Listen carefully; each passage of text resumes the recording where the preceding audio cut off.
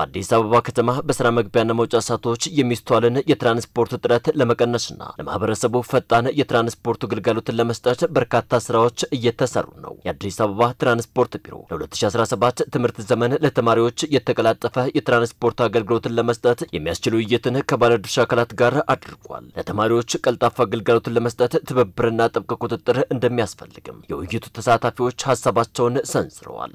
እንደ ማህበር ያለንን መኪኖች ቢያንስ ቢያንስ ትራንስፖርቱ አሁን ተማሪውም ሰራተኛውም ሁሉም የሚወጣበት ወር ነውና በተቻለ መጠን ስኬታማ ለማድረግ እንደ ማህበር ጥረት እናደርጋለን። ግን ደግሞ ካለ እናንተ እገዛ የኛ አቅም ይታወቃልና ተሽከርካሪዎቻችንንም ቁጥጥር ላይ ከፍተኛ እገዛ እንድታደርጉልን እጠይቃለሁ።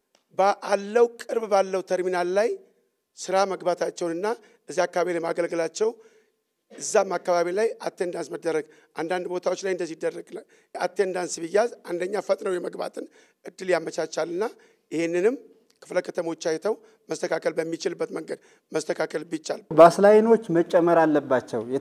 dedicated line ኦች የታጠሩ ናቸው። ከጎሮ መገናኛ ለምሳሌ አጭር ነው ወይ ከላምበረት እስከ ወሰን ድረስ ወይም እስከ አቤም ድረስ ያለው ሳይሆን ከዳር ዳር የደረሰ መሆን አለበት። ከየካ አባዶ ስድስት ኪሎ ወይም ሽሮ ሜዳ ነው መድረስ ያለበት። የታጠረ ስለሆነ ዘላቂ ረጅም መስመሮች ቢሆኑ dedicated line ኦችን ቢበዙ ይህንን መጠቀም እንችላለን።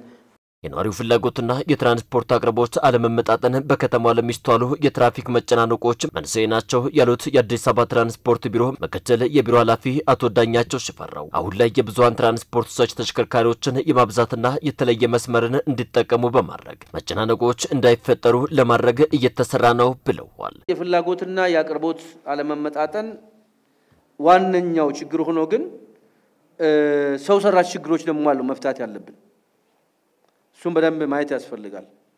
ላው የአዲስ አበባ ከተማ ትልቁ መፍትሄ የሚሆነው mass transport ነው። ለምንድን ነው mass transport የምንለው? አንድ ሚኒባስ ሰባትና ስምንት ሚኒባስ የሚያነሳው አንድ አውቶቡስ ያነሳል። ስለዚህ አዲስ አበባ ውስጥ ለአውቶቡስ የተለዩ መስመሮች አሉ። አሁን በተሰሩ አዳዲስ መንገዶች ላይም እነዚህ መስመሮች በቅርቡ የመለየት ስራ ይጀመራል። ስለዚህ የ mass transport የተለዩ መስመሮች ነፃ እንዲሆኑ መሰራት አለበት። ለምንድን ነው ነፃ መሆን አለባቸው የምንላቸው? ምልልሱ እንዲበዛ። ምልልሱ በበዛ ቁጥር አንድ አውቶቡስ በብዙ ተሳፋሪዎችን አንስቶ ያመላልሳል።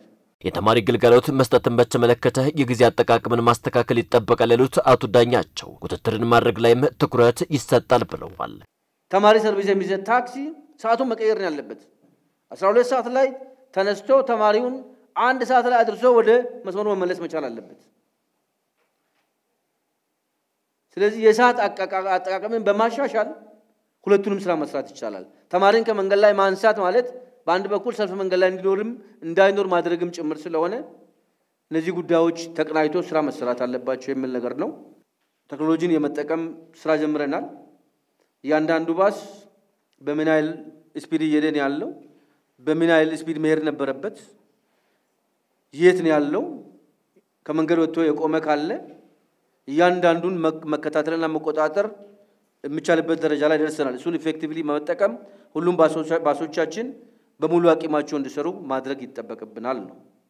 በቀጣይ ለሚጀመረው የትምህርት ዘመን ተማሪዎች ተገቢውን ግልጋሎት እንዲያገኙ ለማድረግ እየተሰራ ነው ያሉት ምክትል የቢሮ ኃላፊው አሁን ላይ የትራንስፖርት መስመሮችን በመለየት ሰልፎችና መጉላላቶች እንዳይፈጠሩ ከወዲሁ ቅድመ ዝግጅት ተደርጓል ብለዋል።